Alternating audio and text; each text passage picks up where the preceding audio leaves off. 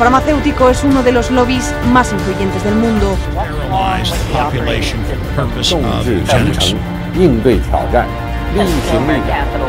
Конечно, должны. Las tienen demasiado poder. Avecina una gran guerra entre la realidad actual y la realidad aumentada.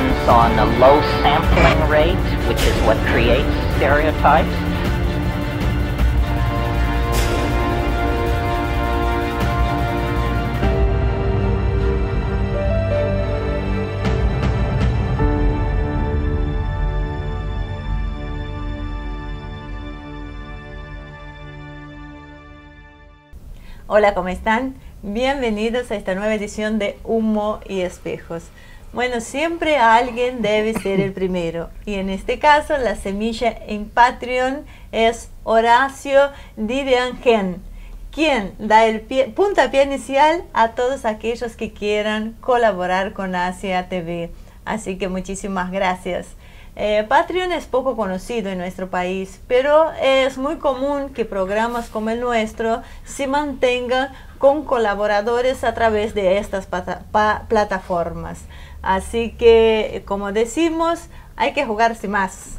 Pero es un primer paso hacia la luz. Muchísimas gracias a Horacio y a todos aquellos que quieran colaborar, son bienvenidos.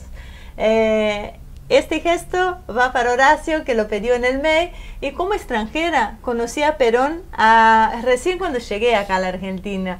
Y viviendo acá, comprendí lo confuso que se ve en el exterior las posiciones del peronismo, porque no se encuadra ni en la izquierda ni en la derecha. Pero sobre eso les prometo que vamos a hablar en, algún, en el próximo programa o en algún programa futuro. Hoy con Marcelo eh, lo que quiero tratar son temas geopolíticos y militares, pero no es algo para especialistas militares, eh, ya que obviamente ellos saben de qué se trata, pero sí para quienes hablan de geopolítica y geoestrategia y necesitan contar con herramientas para entender que la fuerza militar es un factor clave y que la propaganda muchas veces distorsiona los hechos reales y se llegan a conclusiones equivocadas. Así que, Marce, además de los temas eh, militares y geoestratégicos. Eh, eh, contá por qué se nos ocurrió esto, porque hicimos una entrevista con Moreno ah, y uno de los temas de discusión fue el papel de China, el papel de Estados Unidos, y una de, de las respuestas de Moreno viene Sí, sí. por que eh, China no puede proyectar fuerzas como puede Estados Unidos, que tiene, dice Moreno, 12 portaaviones en funcionamiento y que eso le da una capacidad. Bueno, entonces dijimos, bueno, vamos a hablar un poco de este tema. No para contradecir a Moreno, no nos salten a la yugular, ya veo, porque tenemos muchos fans de Moreno. Eh, el tema, hay una confusión. Eh, Moreno es un dirigente político, Sí. el cual respetamos mucho, coincidimos con muchísimas cosas. Uno no puede coincidir un 100% con las personas. Y es uno de los pocos que va más allá de lo estrictamente político. Exacto. Habla de temas más filosóficos, más profundos, de la razón propia del ser. Que, que hace falta un poco tener una guía en la política y saber hacia dónde vamos, porque no es solo una cuestión mecanicista de repartamos las riquezas. La Claro. repartamos las riquezas, pero hay algo más atrás. Bueno. Y eso creo que es el mayor aporte que está haciendo Guillermo en este momento. Y es una persona accesible porque a Guillermo Moreno recuerdo haberlo conocido en el año 2013, cuando Ujú. hicimos un viaje a Indonesia, que justo fue en ese momento eh, la presidenta había hecho Emirates, Emiratos, eh, Indonesia, Indonesia y. Vietnam. Sí. Bueno, no coincidimos, eh, no nos conocía nadie. Era el Moreno famoso en esa época, ¿te acordás? Porque había hablado de lo de Angola. Por esa época, no me acuerdo si un año antes, un año después, era cuando él venía con el tema de llevar cosas a Angola y buscaba nuevos mercados. Se reía todo el mundo acá, pero se reía de la ignorancia. Por ese momento, Angola crecía una tasa del 25% anual. Claro. O sea, tengan una idea que era cuatro, tres veces la tasa china más alta era lo que estaba creciendo. Y acá todo el mundo se reía de la posibilidad de acceder a un mercado así. Bueno, en aquel entonces, un personaje tan reconocido, sin embargo, eh, nos habló de la misma manera que nos habla hoy, o que Mm. no está eh, exactamente en el poder, ¿no? O sea, es una persona con la cual indudablemente es un personaje súper interesante para debatir. Lo que pasa es que eh, lo desperdician muchas veces en los grandes medios que tienen la oportunidad de entrevistarlo, eh, y nosotros también estamos acotados con el tiempo para... Y, a- él un poco le gusta el personaje. Sí. Eh, petardista, de tirar cosas, tirar bombas. Y, eh, él, él compra ese personaje y a veces creo que mucha gente que no lo conoce, que no ha tenido la posibilidad de hablar, eh, seguía un poco por esa superficialidad, pero es interesante ver el discurso profundo, Claro. que ahí es donde va. Con lo cual, a veces tenemos diferencias y una de las cosas que vamos a tratar hoy es Eh, una de eh. las diferencias. Por eso hemos primero toda esta introducción para que entiendan desde el punto de vista donde hablamos. No es algo en contra de, ni siquiera a favor de. Es simplemente por, como decías vos en la, en la presentación, necesitamos eh, que quienes hablan de geopolítica y que diseñan geoestrategias entiendan con un poquito más de profundidad cómo es el tema militar. Claro. Obviamente aquellos que ya siguen los temas militares, que ya profundizan los temas militares, no, tiene, no le vamos a agregar nada nuevo, salvo que los que lo ven desde el punto de vista estrictamente técnico, que no Ah. logran darle un enmarque político. Entonces lo que vamos a tratar en, en- en- en lo que vamos a hablar hoy es juntar algunas cuestiones técnicas militares con cuestiones que tienen que ver con la política. A unos tal vez les sirva por un lado, porque ya tienen la parte de los fierros en sí, y a otros para que tengan idea cuando están hablando de qué están hablando, porque a veces la propaganda confunde, Se y confunde bastante. Y, Y, y ex profesor. Obviamente, porque si yo te digo, yo soy todopoderoso como una nación, Claro. mis fuerzas armadas son capaces de hacer cualquier cosa en el mundo. Automáticamente los demás empiezan a alinearse debajo de mi sombra porque no se atreven a desafiarme. Claro. Y acá no estamos diciendo que Estados Unidos no sea poderoso, lo es y mucho, y mucho, pero no es el Estados Unidos eh, de la década del 90 eh, y no es y Estados Unidos inclusive habría que ver en algún momento muy puntualmente qué pasó, porque la capacidad nuclear que tiene Estados Unidos es indiscutible. Pero las fuerzas convencionales tienen unos cuantos problemas, sino que cuenten lo que pasó en Vietnam. Claro. O sea, Estados Unidos después de la Segunda Guerra Mundial no ganó ninguna guerra. Eh, apenas consiguió, podríamos decir, unas tablas en Corea. Y durante la Primera y la Segunda Guerra Mundial, la participación norteamericana fue decisiva a través de la masividad de recursos que volcó en la guerra. Pero guarda que combatiendo no fue tan decisivo. No fue Rusia. Rusia sí cargó en sus espaldas el peso de la Segunda Guerra Mundial. Claro. Estados Unidos colaboró materialmente, básicamente, y recién cuando la guerra ya se empezaba a inclinar en un sentido, recién interviene abiertamente y abre un segundo frente europeo cuando ya Rusia había, o la Unión Soviética había conseguido romper la ofensiva nazi y estaba Ah. en una contraofensiva. Eh, es como que, bueno, llegó el momento que dijeron, bueno, o los soviéticos se quedan con todo o intervenimos nosotros y nos quedamos con la parte de, Europa Occidental.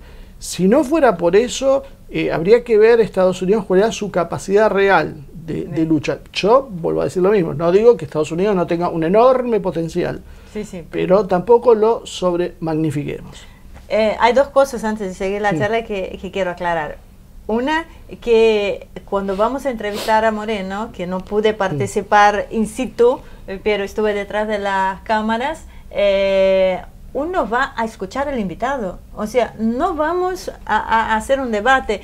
Nos encantaría eh, tener la oportunidad de generar un debate con Guillermo con más tiempo. De hecho, vamos a proponerlo, si, si ya tenemos la suerte de que Guillermo Moreno esté escuchando, vamos a proponerle, aunque sea virtual, hacer un debate donde podamos discutir mejores posiciones, no para pelear, sino para un, crecimiento y evaluar bien las ideas. Sí, Eso yo creo que es básicamente por ahí no se entiende como debate. Yo el otro día veía un debate que hicieron en YouTube eh, Lucas Carena y, y, y, eh, ¿cómo se llaman? Antonio Lágeno y Agustín. Eh, Detrás de cámara nos apuntan siempre Ve- cuando... Veía un debate que hacía Lucas Carena y Agustín Laje, uno desde el nacionalismo católico tradicionalista y el otro desde el libertarismo. Y era asombroso los puntos de coincidencia. Eh, y era asombroso, no digo que esté bien o mal, digo, había puntos de coincidencia reales y concretos, porque lo que se publicitaba como un debate, en realidad no era un debate. Claro. Una vez veía un debate entre una feminista y UTBH, un tío blanco hetero, Ajá. y pasaba lo mismo, estaban de acuerdo en el 90% de las cosas. Entonces yo creo que eh, eh, hay- no hay que tener expectativas en una discusión, sino el tema de... su- en realidad es una charla más distendida donde hablas de igual a igual. Cuando uno va a entrevistar, no habla de igual a igual, porque lo que importa es la Exacto. opinión del... Uno puede sentar una posición, puede intentar llevarlo un poquito más, tratar de sacarle algo que sea más jugoso, pero ahí terminan las cosas. Eh, no es mi opinión la que vale el cuando yo lo entrevisto a Moreno, es la opinión sí. de Moreno. Yo solo intento eh, que Moreno diga todo lo que tiene para decir y si puedo traducir un poco lo que sé que del otro lado están pensando, lo que ustedes están viendo. O sea, lo que le querrían preguntar a Moreno. A veces uno acierta, a veces no, pero bueno, Claro, se sí, intenta sí. hacer eso. Pero la prioridad es el Es el invitado. invitado. Eso es claro. Me parece inclusive una falta de respeto que yo vaya a un invitado, cosa que se ve mucho en la televisión. Ponen el invitado y se ponen cuatro o cinco a pegarle al invitado por lo que dice. Si no estás de acuerdo, no lo invites. Claro, sí, sí, Punto. sí, sí. Yo puedo tener matices, puedo pedirte aclaraciones, puedo decirte, bueno, a mí no me parece que eso así, y después sigo, pero no puedo pegarte y pegarte y pegarte, porque si hago eso, en realidad, y en general lo hacen también muchas veces sin argumento, Claro. lo que estoy haciendo es un show mío, Claro. y no es la idea nuestra. La idea nuestra es discutir ideas, discutir políticas. Claro. Además, bueno, también vemos el crecimiento de, de Guillermo, vemos eh, su propia militancia, así que no se enojen con nosotros, no maten el mensajero, la verdad. Algo un Sí. par. En realidad, pues nosotros buscamos la, la quinta para el gato. Sí. Básicamente hubo un par de casos que no entendieron cuál era el objetivo y nos criticaron. Es más, mucha gente también que era de Moreno, es bueno también explicarlo, Claro. salió a defender nuestra posición, a decir, no, vos no entendiste, vos no los conocés, vos no sabés lo que piensan. Porque tenemos gente que nos acusa de ser marxistas, otras de ser liberales. Eh, de ser pro chinos, otros pro rusos, otros pro norteamericanos o sionistas. Sí, bueno, indudablemente hagan- enganchan un título y no saben el pensamiento real. No somos marxistas, o cuando hablamos de China, no somos pro-chino, o sea, no buscamos eh, eh, copiar el modelo de chino porque somos los primeros en decir que cualquier modelo del mundo sirve en el contexto de su país, en el contexto donde es aplicado. ¿No es así? Sí, eh, creo que bueno, un poco ya, ya preguntaste y diste la respuesta vos misma. Eh, Perdón, es la, convivencia con vos. eh, no, no, pero es que es real. O sea, nosotros, los que nos conocen saben que no somos marxistas eh, por varios enfoques, lo cual no quiere decir que uno no eh, valore la dialéctica del marxismo, la, la metodología para interpretar la realidad. Muchas veces es muy acertada y tanto es así que casi 200 años después que se formuló, ya estamos a poco menos de 30 años, eh, esa, esa ideología sigue brindando, brindando herramientas súper útiles.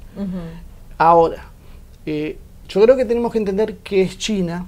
Ya no voy a hablar de qué es el marxismo, hay montones de, de- de- de libros, tratados, Sí, notas, sí, videos, lo que ustedes quieran sobre qué es el marxismo, y hay un montón de corrientes. Sobre el tema chino es más complicado, porque lo que hay son interpretaciones desde una visión europeísta Claro. marxista, no marxista, nacionalista, la que ustedes quieran, pero siempre visto desde los ojos de los europeos. Entonces ahí muchas veces los que escriben no conocen la cultura, la civilización, las ideas de los chinos. Entonces hablan a partir de su propia visión y se ponen en el lugar de los chinos para interpretar la realidad. Y muchas veces las interpretaciones son realmente equivocadas, porque los chinos Claro. no piensan, no creen, no valoran así. Entonces eso es lo que vamos a intentar, estirar algunos argumentos para que se pueda mm, entender dónde estamos parados cuando hablamos de China. Bueno, hablamos de, del imperio del centro con el 50% del PBI mundial, cinco milenios de tradición, de pensamiento confucionista. ¿Por dónde querés empezar? Eh, vamos por eso. China se lo conocía en la antigüedad, se referían a sí mismos como el imperio del medio. Es más, si uno ve mapas antiguos chinos, modernos también, China es el centro Claro. del mundo. Nosotros nos damos cuenta, pero el centro lo tenemos en Europa. O sea, cada uno pone el centro donde le parece. Tiene que tener espaldas. China ha tenido una característica a lo largo de su historia. Es un país que ha sido bastante cerrado hacia el exterior. Es tan grande que a veces eh, uno no, no termina de concebirlo. Pero es un continente. Pensemos que China tiene 1.300 millones de habitantes. Es prácticamente como lo que es toda América junta. Entonces, a partir de ahí, China necesita mucho menos el exterior de lo que nosotros creemos. A lo largo de la historia, China fue autosuficiente. Los intercambios que tuvo son porque siempre uno necesita o quiere algo.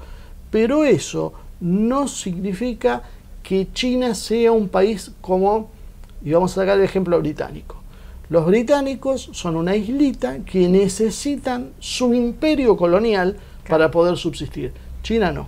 China no necesita mostrarle los dientes a nadie porque China es, vuelvo a decir, tiene una población que son casi cuatro Estados Unidos juntos. Y Estados Unidos tiene una población que son siete veces casi la Argentina. Para tener una idea de la magnitud de lo que hablamos. Y China históricamente fue el, más o menos aproximadamente, poco más, un poco menos, el 50% del PBI del mundo durante 30 siglos.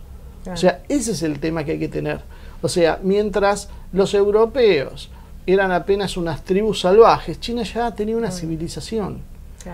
Eh, China es coetánea de los asirios, de los persas, de Darío.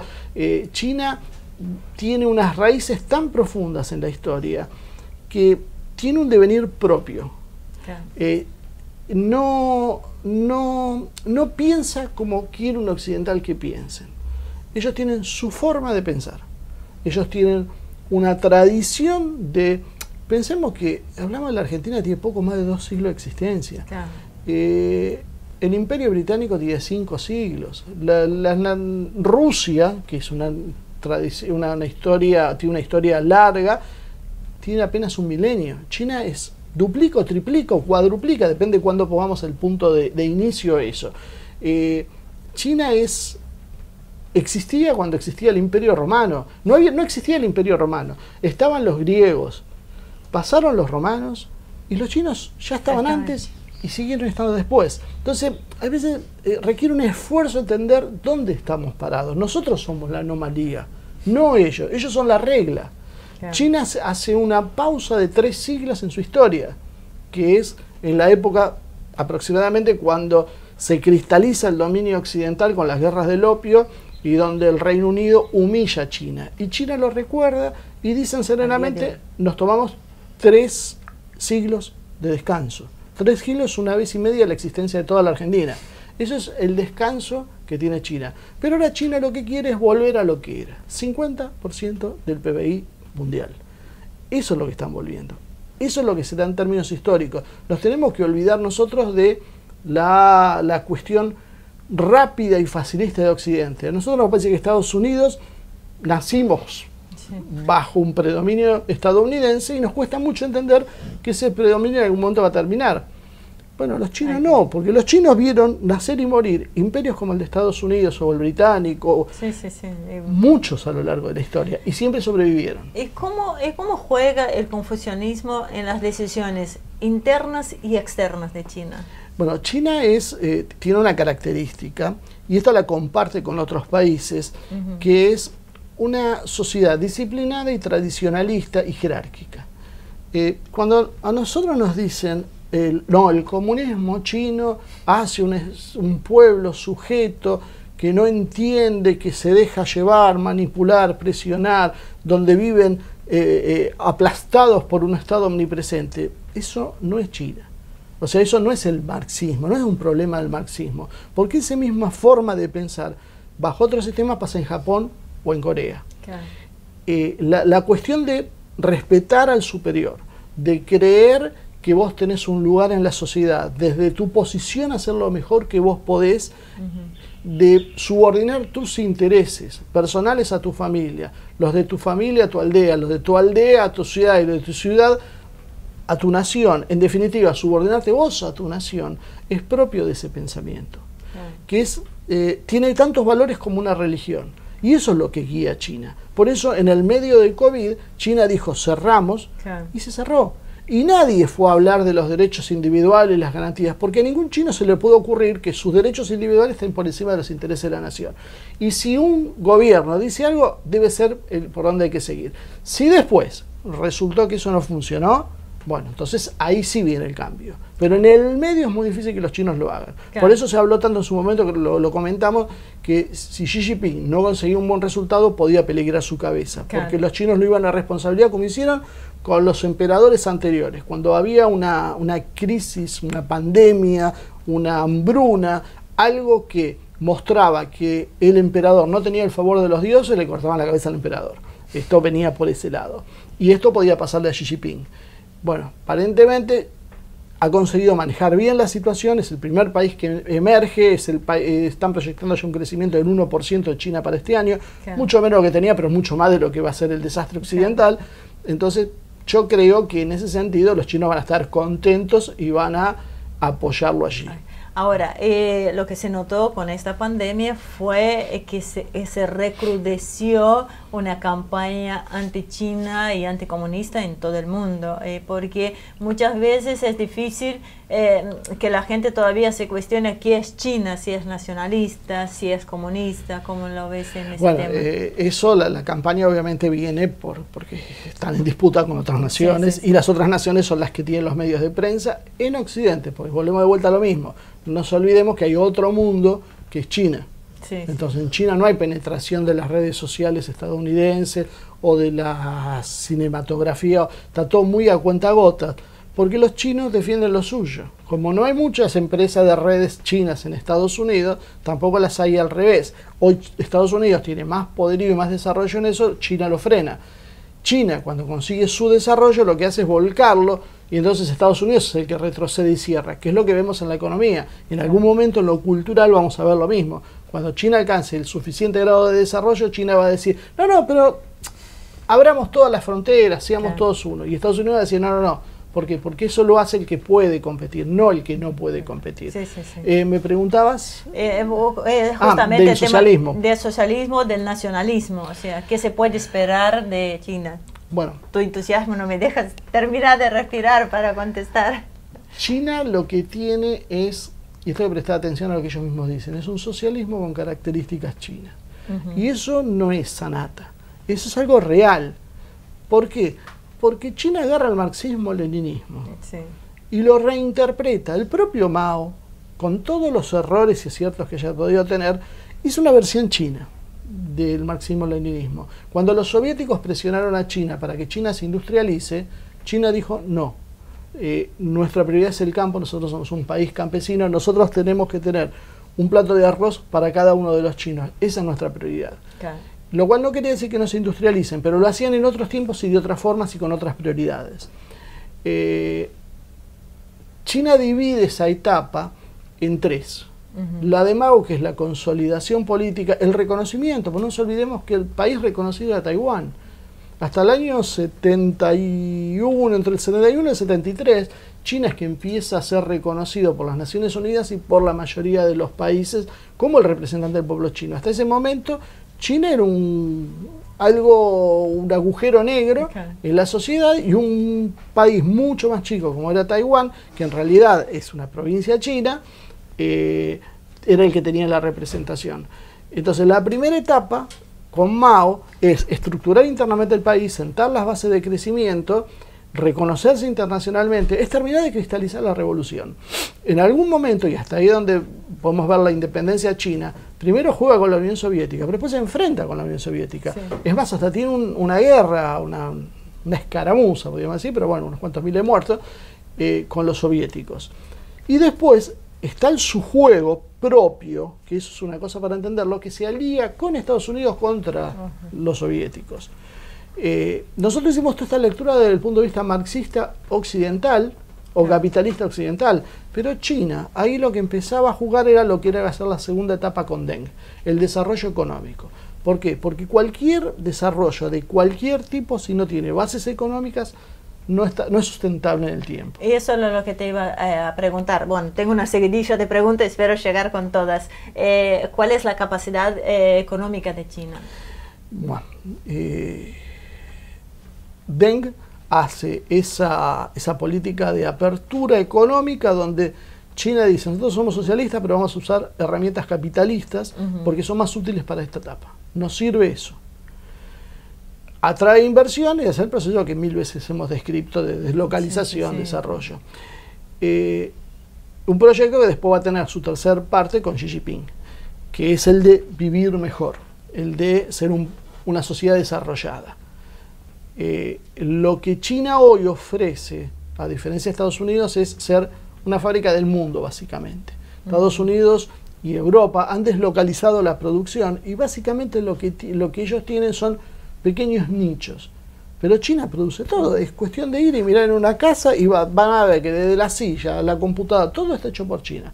China por ahí tercerizó Sí, sí, producciones, pero básicamente lo hacen los chinos. China hizo lo mismo que hizo Chi- Japón o Corea. Empezaron a copiar y a producir y aprovecharon la coyuntura internacional para desarrollarse trayendo capitales y tecnología. Bueno, pero ya pasaron la etapa eh, Como es, eh, tecnología y patentes. Son dos cosas que Bueno, habla. Que porque esas son las dos etapas. Empezaron a desarrollar la tecnología, Ujú. a hacer una tecnología propia y más a- eh, de mayor calidad y mayor complejidad. Sí. Y después, y yo creo que esta es la cristalización, cuando vemos quiénes patentas más en el mundo, hoy los chinos patentan más que los Estados estadounidenses. Cada vez más la propiedad intelectual pasa a ser china y no de Claro. Estados Unidos.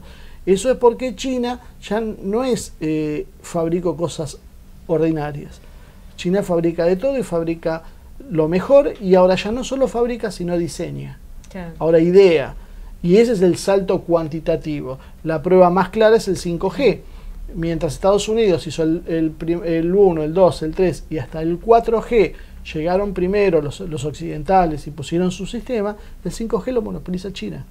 Y esa es eh, una fuente de tironeos con Estados Unidos. Y mientras Estados Unidos está intentando encontrar una red, una, una, una- una tecnología eficiente de 5G propia para no depender de China, China ya está trabajando con 6G, que calculan que en unos años más ya la van a tener. O sea, no terminamos de llegar al 5G, ellos ya están trabajando en el 6. Los chinos lo que querían hacer, eh, y lo hicieron, es eso, es desarrollar su propia tecnología, y ahí tenés una muestra que cuando hablamos de un mundo que marcha hacia la inteligencia artificial, la robotización y eh, necesitas una amplísima disposición de datos y eso lo conseguís con, la- con las redes 5G.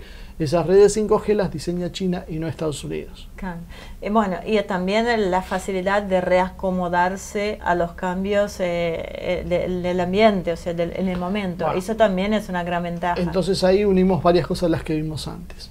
Una población que es un continente en sí misma, o sea, ellos tienen su propio mercado y no necesitan otro mercado. O sea, cuando vos producís para 1.300 millones de, hab- de habitantes, si esos tre- 1.300 millones tienen poder de consumo, eh, tu mercado es gigante. China lo tiene. Tiene un mando único a través del Partido Comunista, que podrá, vuelvo de vuelta con, con lo de las valoraciones morales, éticas y sobre las libertades y todo, para los chinos está bien, porque los chinos lo que buscan es eficiencia y tienen un concepto, como decíamos al principio, de la comunidad por sobre mis intereses individuales. Si a eso le sumás que se han desarrollado, como se han desarrollado en las últimas tres o cuatro décadas, vemos entonces que tiene el Partido Comunista tiene mucho consenso interno, pese a todo lo que nos vienen diciendo a veces la propaganda occidental. Ellos tienen tres problemas básicos. El Tíbet, que ya cada vez eh, lo tienen mejor controlado. Tienen el problema de Hong Kong y el problema de Xinjiang. Y esos dos problemas los tienen por Occidente, por eso ahora en estos días acaban de modificar la legalidad de Hong Kong para eh, poder ellos controlar lo que tiene que ver con, con las disposiciones internas de Hong Kong y evitar desde ahí que se afecte a la al resto del país.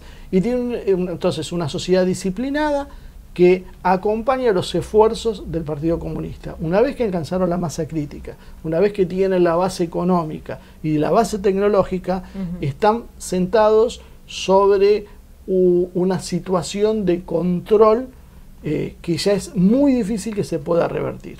Entonces, básicamente, lo que encontrás en China es eso, es eh, la suma de las, de, las, de las cuestiones necesarias para ser la primera potencia mundial. Ent- Cuando vos tenés una sociedad disciplinada, cuando vos tenés los medios, cuando Sí. vos tenés una dirección política única, eh, readecuarse hacia el interior no es tan difícil. Y ya lo mostraron cuando con la crisis del 2008 muchos auguraban que China se derrumbaba porque se basaba en las exportaciones y la respuesta de China fue reorientarse hacia el interior y seguir creciendo más o menos como venía.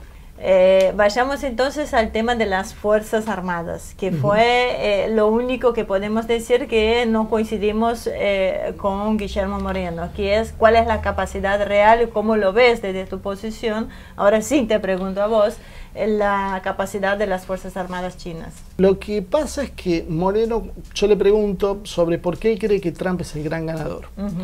Y él lo que él argumenta es que Estados Unidos es el único, la única nación en el mundo que tiene capacidad de proyectar fuerzas Claro. en todo el planeta, lo cual es cierto. Estados Unidos tiene 12, eh, 12 portaaviones, hoy ya son 11 porque hay uno que dejó de ser operativo. Sí.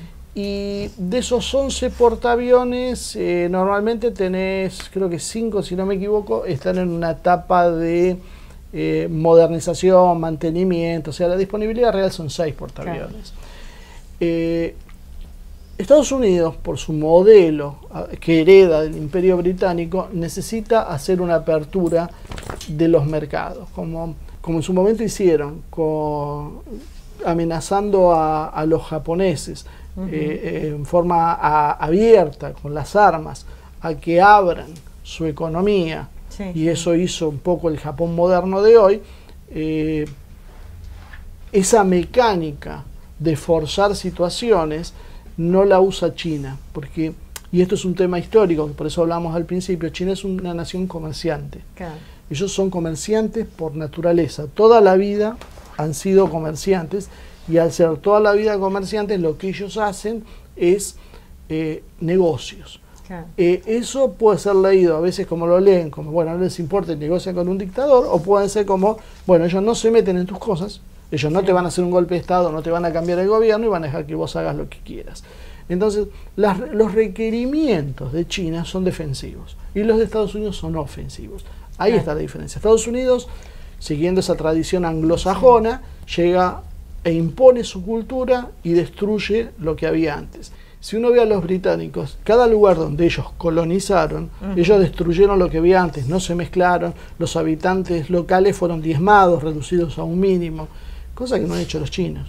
Claro. O sea, hay que prestar atención a eso, porque uno dice, ¿por qué vos crees que China, eso me lo han dicho muchas veces, ¿por qué crees que China no va a hacer? No va a hacer porque no lo hizo nunca. ¿Por qué Claro. habría de cambiar sus 5.000 años de historia? Si no lo necesitan además. Pero lo que sí necesitan es garantizar el abastecimiento comercial, las rutas comerciales, el abastecimiento propio de petróleo.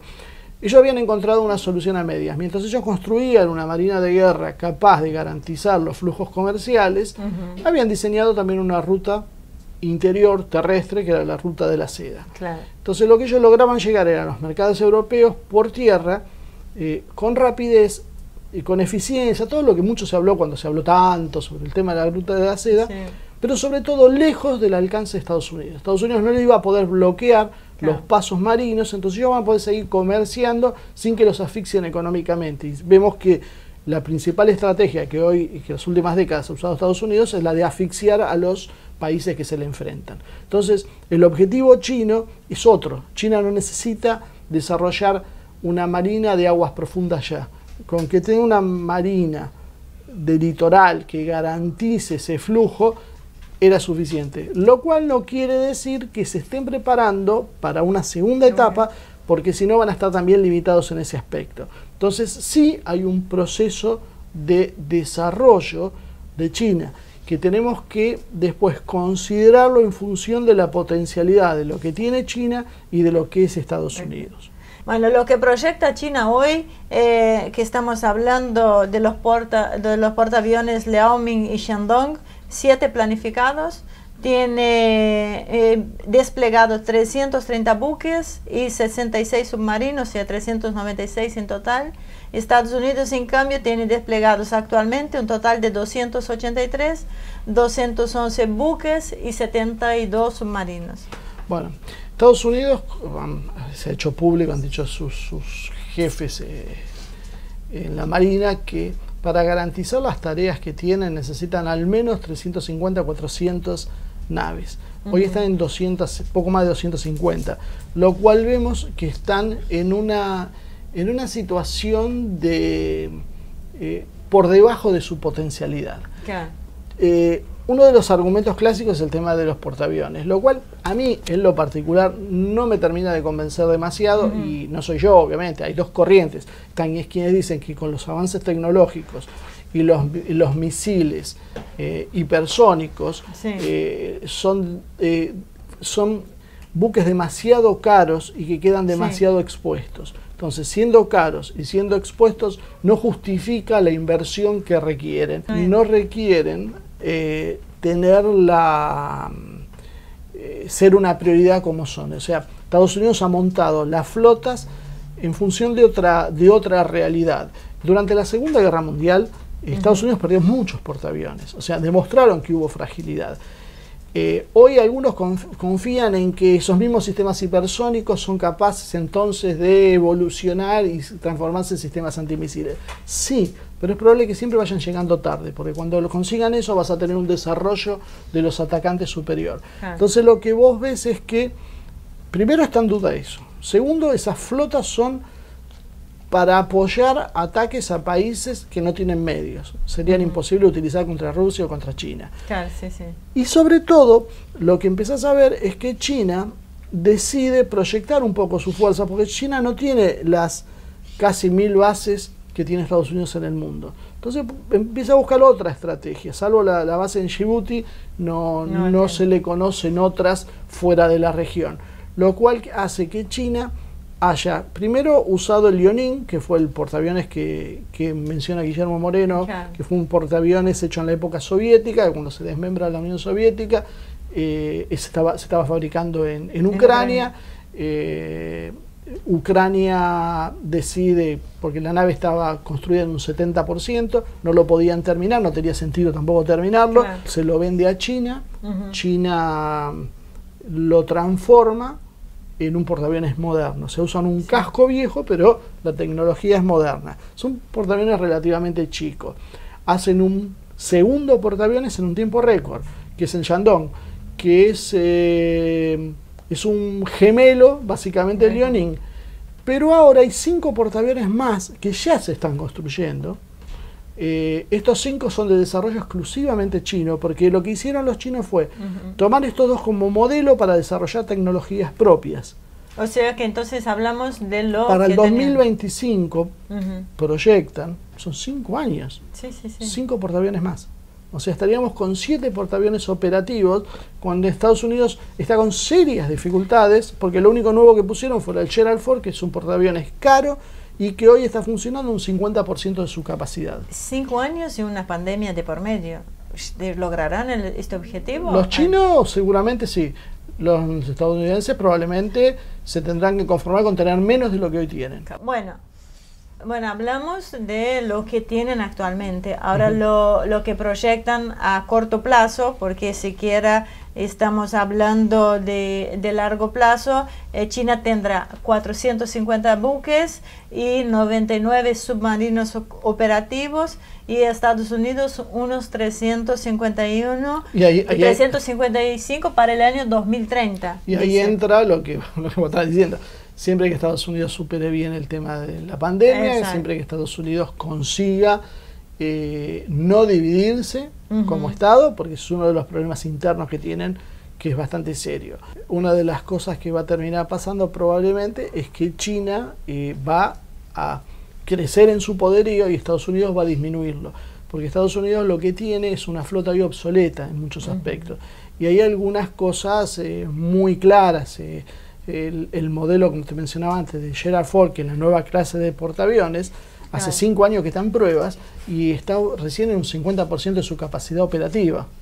Y cuando vos consideras todo eso, te das cuenta en realidad que China, eh, que Estados Unidos tiene grandes dificultades porque lo que pasó acá fue que Estados Unidos en la guerra del Golfo siempre hubo un negocio militar industrial, pero después que ganó la guerra, se creyeron realmente que se había acabado la historia. Entonces privilegiaron el negocio por sobre las necesidades reales. Cada uno de los productos que vienen sacando es un desastre. O sea, el, el destructor Zumwalt o el F-35 son muestras de algo que se impone por presiones políticas y económicas, pero no por capacidad.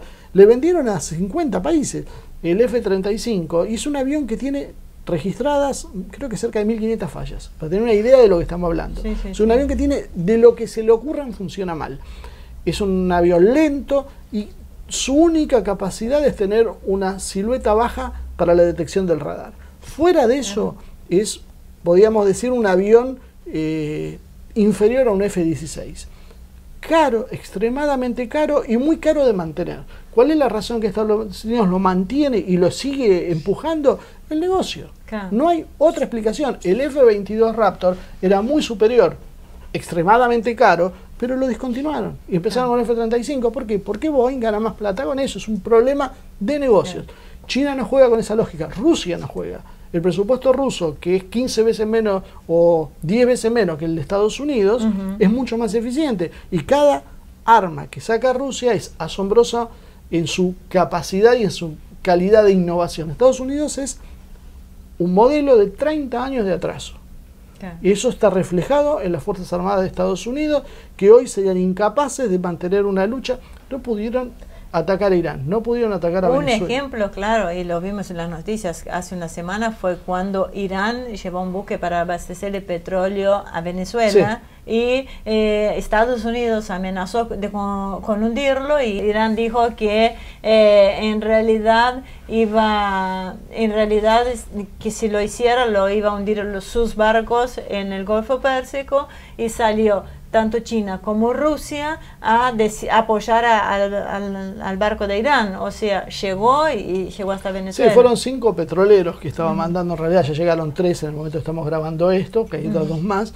Eh, sí, indudablemente las advertencias de- Irán de tomar represalias en el Golfo Pérsico fueron tomadas muy en serio. Claro. Pero por eso, si Estados Unidos tiene esa capacidad, ¿qué capacidad puede tener entonces para desafiar abiertamente a China? Claro. Ninguna. Sí, sí, sí. Eso es lo que hay que empezar a entender. Esto no es cuestión de ser fanatismo, no, es de ver la realidad. Claro, sí, sí, sí. Eh, bueno, ahora quiero entrar en algo que para mí es chino básico y, y nos estamos riendo porque la verdad Tuvimos que grabar esta parte varias veces. a- a- hago agua, viste, C2, B3, agua y mole, ah, no es lo mío, pero bueno, eh, veniendo, volviendo a ese tema. Háblame de las cuestiones de los misiles sin datos de nada y vos, vos contame.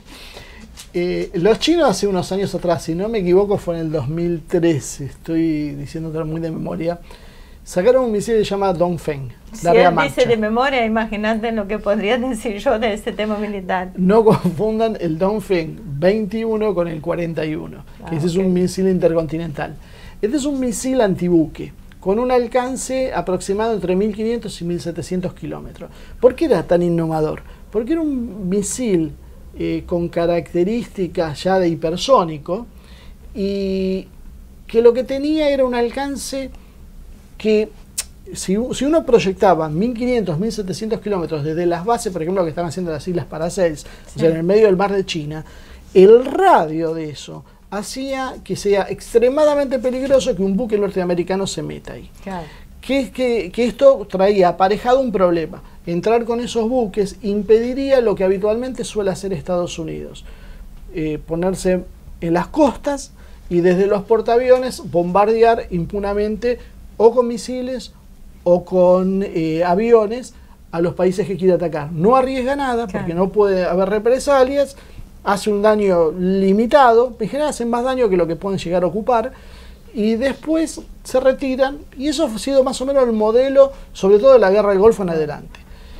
Con este misil chino rompió ese equilibrio. Ya un portaaviones tiene que estar a más de 1500 kilómetros de distancia, lo cual dificulta muchísimo la operatividad de los, bar, de los aviones que tendrían que ir a atacar y volver. Estaban muy en el límite, algunos aviones lo alcanzan, otros no, con tarjetas suplementarios, pero vos llegás, atacás y volvés, no tenés tiempo tampoco de meterte en ninguna, porque todavía no está descartado que pase, si bien hay muchas teorías, ningún enfrentamiento con otros aviones, eh, es, es muy rápido, que tenés muy al límite. Ahora China sacó un nuevo misil que es el Dongfeng 26, y este tiene un alcance de 4.000 kilómetros, lo cual significa que llega hasta las islas de Guam, hasta las bases norteamericanas. Básicamente Estados Unidos no tendría ya ninguna posibilidad de acercarse y atacar a China continental, salvo que utilice un sistema balístico. Eh, si, si usa los misiles estratégicos, los misiles nucleares que siempre vemos en las películas de los silos o de los submarinos, eso ya es una guerra abierta, estamos hablando de otra cosa. Estamos hablando acá de estos golpes que suele hacer Estados Unidos, que lo vemos que hace Israel contra otros países árabes, y que no llegan a una guerra porque el, el otro país no puede contestar y nadie se atreve a dar ese paso para que sea una guerra abierta, pero por otro lado vos sufrís constantemente la presión de los ataques. Esto, esto, este sistema rompe ese equilibrio. Entonces, esta- eh, China ya consigue la inmunidad que necesita. Inclusive podría mañana, si querría atacar a Taiwán, y las posibilidades de Estados Unidos de brindar una ayuda concreta y real son muy escasas. Muy escasas. Y dudo que cualquier país en la región, Corea o algún socio norteamericano quiera meterse en una guerra con China para defender algo así. Bueno, nos queda, no nos queda tanto tiempo. Yo emociono que vos intentes hacer un cierre, cinco minutos y seguimos. Sí, tenemos pensado hablar algunas cosas más sobre la, la alianza con Rusia, pero vamos a tocarlo eso muy por encima. Sí me gustaría hacer un, un paréntesis sobre el tema de los aviones de quinta generación, que es otro de los factores que en este tipo de enfrentamientos son importantes. Eh, la- y ahí donde vemos un poco el resumen de todo lo anterior. China, y esta no te dejé hablar, pero bueno, sigo directamente. China eh, desarrolló eh, un caza, el Chengdu J-20, Que es un... se lo acusó de ser una copia descarada del F-35. Es realmente, y para que vean que no somos también pro-China, altamente probable que sea verdad, que se, porque ha habido una filtración, eh, se re- robaron varios, va- varios terabytes de informaciones, y China saltó de diseñar dificultosamente aviones de tercera generación a un avión de quinta generación. Saltó la primera etapa. Estamos hablando por lo menos de 20 años de desarrollo. Claro. Ese avión, el Chengdu, tiene unos parecidos notables, como dice Trump, con el eh, F-35 norteamericano. Pero los chinos, primero... El primer- F-35 era el que tenía tantos errores. problemas, sí. Pero te- entonces tiene una. eh, arreglaron los errores de esto. Vamos, vamos despacio. Esos errores que tenían, eh, cuando China toma el avión, la propaganda enseguida occidental dijo, bueno, esto ni debe volar. Lo primero yo me acuerdo haberlo leído, es un avión que lo tienen para carretear por las pistas y decir que tienen un avión de, de quinta generación, pero esto no vuela. Bueno, si vuela, no tiene características de quinta generación. Bueno, ahora resulta que los medios especializados, por lo menos, dicen que el Chengdu J-20 es superior al F-35, porque los chinos volcaron capacidad propia, capacidad rusa, y corrigieron todos los errores que tenían. O sea, cuando lo hicieron, lo mejoraron.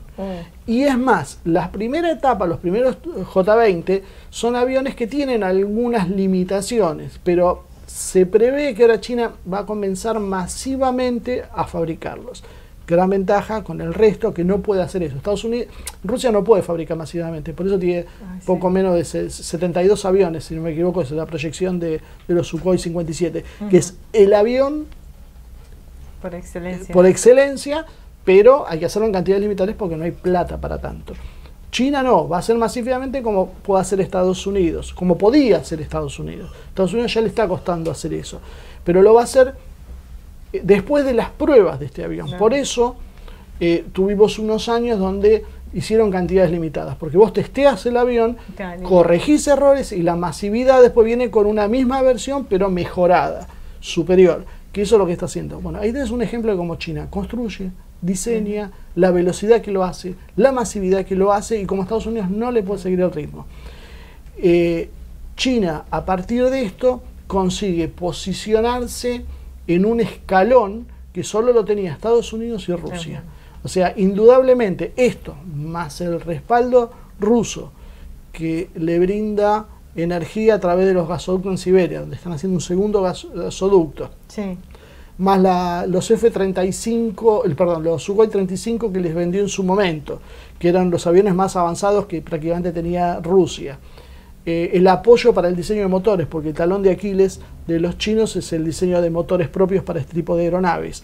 Sí. Un avión de quinta generación tiene algunos requisitos que Rusia recién los consigue con esto y que Estados Unidos lo había conseguido sí antes. Por eso digo que Estados Unidos tuvo un parate histórico. Un avión de quinta generación necesita ser sigiloso y necesita tener velocidad crucero sin postcombustión, lo cual significa un ahorro de combustible y una mayor radio de acción. Eh, y los rusos lo que consiguieron, vamos a un paréntesis con esto, que es Sí. interesante de, de notar, es que es distinta la filosofía. Mientras los norteamericanos confían 100% en un avión invisible que pueda atacar y desaparecer sin que lo detecten, los rusos no confían en ese criterio. Entonces solo le hacen una, eh, una firma de radar muy chica en lo frontal. que es Ah. lo que ellos consideran que puede llegar a interesarle. Después en el resto, el, el Sukhoi 57 no es un avión extremadamente sigiloso. Lo que tiene es un enorme alcance y a partir de eso eh, una altísima maniobrabilidad, más que, el F-35 y, que el Chengdu, que también el Chengdu mejoró al F-35. Entonces de esa manera es una estrategia distinta, pues son distintas las funciones que le asigna Kapadichir. Rusia necesita una- un caza polivalente, mientras que Estados Unidos en el F-35 tiene un avión de ataque y esa función la cumpliría el, el F-22. Entonces, a partir de esto, lo que hace China es eh, des- desarrollar un modelo de avión eh, que supera las características de sus rivales, por lo menos los Claro. norteamericanos. Entonces ahí ya estamos hablando de lo que es. Y para terminar de redondear la historia, lo, lo dota de unos misiles que son ahora los PL-15, que son unos misiles hipersónicos, lo cual le da una ventaja comparativa con contra cualquier otro avión, porque la, la- la capacidad de ataque de, de- de- de estos Chengdu con esos misiles que reemplazan a los PL-10 anteriores Sí. es muy superior. Entonces, China ya e- ya es una realidad, ya es una amenaza seria entre los portaaviones.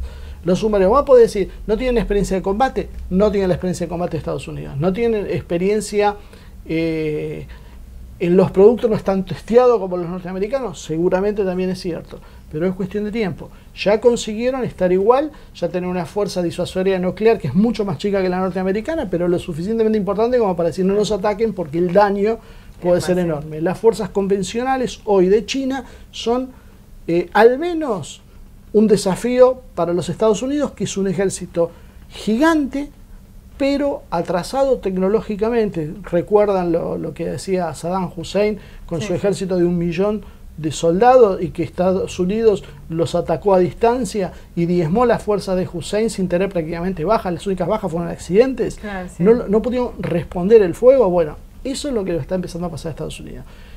Eh, eh, China tiene un ejército eh, que, que va a combinar cierta masividad con una eficiencia tecnológica. Cambió la doctrina militar china. Hoy ya no es el ejército de la época de Mao, Claro. que es mandamos al muere millones y millones y millones y ganamos por saturación. No, no, se transformó, se achicó, se hizo un ejército más profesional, pero mucho más tecnológico. Y los famosos avances tecnológicos, inteligencia artificial que venimos hablando. ¿Y qué es lo que te define todo esto? ¿Cómo vos Claro. garantizar los avances tecnológicos constantes? Porque vos cuando sacaste ventaja la tenés que conservar. Claro, sí, ¿Cómo sí. la garantizás? Plata. Con plata. Eso es lo que tiene China. Esa es la gran ventaja. China es eficiente para producir, para fabricar, y lo que todavía no lo tiene lo va a conseguir. Talón de Aquiles, algunos problemas con Rusia, las disputas con el lejano oriente ruso, porque ellos tienen Manchuria, que tiene más de 100 millones de habitantes, y los rusos están prácticamente despoblados, y algo que ha hecho ruido, se habló poco, pero hizo ruido en Rusia, fue eh, la idea de China de empezar a tomar posesiones en el Ártico. El tema de estar, de tener presencia en el Ártico, a Rusia no le gustó nada porque eso es una zona rusa. Entonces, creo que Rusia entiende que China tiene que ocuparse del mar meridional de, de China, Asia Central comparte en algunas zonas de influencia con Rusia, pero meterse en el Ártico es meterse en el corazón ruso. Yo creo que ahí lo van a tener que conversar un poco más, pero básicamente lo que los une es el espanto a Estados Unidos, así que por el momento Estados Unidos a Occidente y el globalismo, porque no es solo Estados Unidos, no es el Estados Unidos de Trump. Muy bien, Marce, rápido, fue un cierre, la verdad que está muy interesante, pero bueno, tenemos que dar un descanso a la gente que, que nos sigue. El próximo programa vamos a contar con la presencia de Gabriel Merino, es una persona muy interesante, va a tocar temas también geopolíticos y seguramente después de él volvemos con vos, sola- solo con vos, como para redondear eh, estos temas y hablar un poco más de Rusia, de Irán y de Y otros también me países. gustaría que la gente, no, lo- los que están viendo, que nos comenten si les interesan estos temas, porque son temas muy poco hablados, salvo en ámbitos muy específicos. Y es que a Marcelo le gusta mucho. No solo me gusta, yo creo que son importantes, Sí. pero también por ahí no les gusta y bueno, les puede gustar hablar de otras cosas. Y un tema agendado que un día vamos a empezar a hablar, que lo tenemos muy pedido, es el tema de la leyenda negra, Ah, sí. qué es lo que pasa con, con la hispanidad. Así que mientras tanto, bueno, nos vemos entonces en el, en el próximo programa. Mientras tanto, con Azul, que, y Morena que están ahí a full ayudándonos con el tema de Patreon, que es muy nuevito acá en la Argentina, pero que en el resto del mundo hay muchos programas, como dije al principio, que, que viven gracias a esto, ¿no? A gente que de repente, bueno, estos dos locos les creo, los quiero y apuesto, estamos hablando de 3 dólares el mínimo mensual, eh, como para que en el, todo el mundo los que quieran seguir escuchándonos puedan apoyar. En el detalle del video tiene todas las formas hacer los libros, no quiero ser repetitiva, pero es importante. Y Azul prometió pronto, pronto estar con nosotros en el podcast eh, que lo estamos armando de ahí, que también va a ser muy interesante. Así que bueno, el equipo de ACTV con todas sus limitaciones está acá. Eh, tratando de producir contenidos que realmente sea interesante eh, y que bueno, sirva, es decir, nos sirva a todos como para analizar lo que está sucediendo en el mundo. Así que lo, del podcast creo que va a ser una realidad este fin de semana. estamos ahí, presión a azul. Eh, lo planteo así para que de una vez lo saquemos. Y porque detrás de cámara que nos hace todos apuntes, se está escuchando y se ponga ahí en el compromiso porque no podemos pedir mucho, ella se compromete. No solo Azul, hay, hay, otras que también están dando vueltas. Morena, Morena. No, no, no, no me refiero a Morena. No, bueno, yo, yo no sé, Morena sí, ya está con la, la tenemos que estar ahí sosteniendo con la correa que tiene unas ganas de salir a hablar y todo. Eh, en sus tempranos 16 años, pero bueno, Azul era, era tan chica así cuando arrancó, así que ya, ya es casi vieja en ese tema. Así que bueno, en cuanto a ustedes, muchísimas gracias nuevamente. Realmente es un lujo y un placer para nosotros tenerlos acá en cada, en cada programa, poder estar eh, respondiéndole los mensajes. Esperamos estar a la altura de las expectativas de ustedes. Muchísimas gracias. Los invitamos nuevamente que se suscriban a nuestro canal de YouTube, que den like, que invite a sus amigos que hagan lo mismo y mándele una invitación de Patreon y por ahí algún loco más quiera apoyarnos y estaremos muy agradecidos. Nos vemos en la próxima edición de Humo y Espejos.